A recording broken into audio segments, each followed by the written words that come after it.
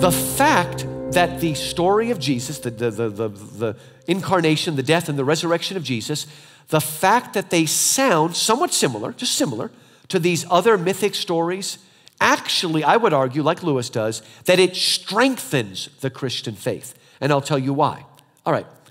If Jesus came and did this, and it was totally foreign to everyone, it just didn't even make sense, we had no yearning for it, it would suggest that a foreign God had invaded us.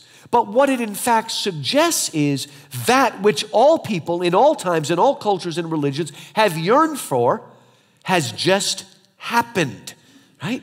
Jesus has come. And see, this is very important to me. And I'll bet a lot of you maybe have worried about this when you read the Old Testament and you're like, wait a minute. God revealed himself to half a percent of the population and ignored everybody else? That seems a little bit troubling. Not if what Lewis says is true. If you're a Christian, we believe that Jesus Christ fulfilled the Old Testament law and prophets. Right? That's not contested in Christianity.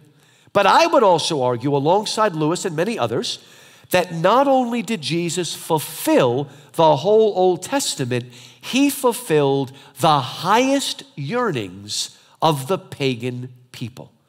Understand? See, in mere Christianity, Lewis says before the coming of Christ, God spoke to us in three ways. He spoke to us through our conscience, He spoke to us through a specific people He chose called the Jews, and He spoke, only Lewis could say this, through the good dreams of the pagans. Right? God did not leave Himself without a witness. Only to the Jews did we get what we call special revelation. Only the Jews had the revealed word of God, the prophets, the law, etc. But to the pagans, all the non Jews, the Gentiles, right? God spoke, but He spoke in different ways through nature, through their conscience. He spoke through their good dreams. Now, again, they were like, see, here's a good way to put it. The Bible tells us that we now see dimly as in a mirror right? Through a glass darkly in the King James. We see dimly in a mirror.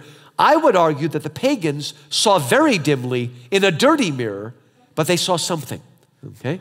They yearned, and Jesus fulfilled that yearning. Isn't that beautiful? Then Lewis goes one step further and says something, especially if you're an English professor like me, that's so important.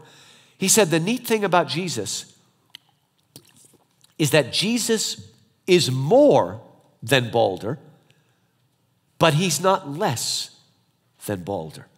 Let me explain this because this is very important, especially if you grew up in a, you know, kind of a super rationalistic home where your parents kept you away from mythology and stories and thought all that was evil.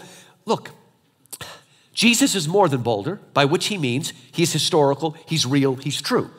But he's not less than Balder. What that means is that Jesus not only appeals to our rational, logical, intellectual side, Jesus appeals to the heart, what yearns for myth and yearns for story, for imagination. He speaks to that just as powerfully as he speaks to the mind. The melding or marriage of reason and imagination is so strong in Lewis.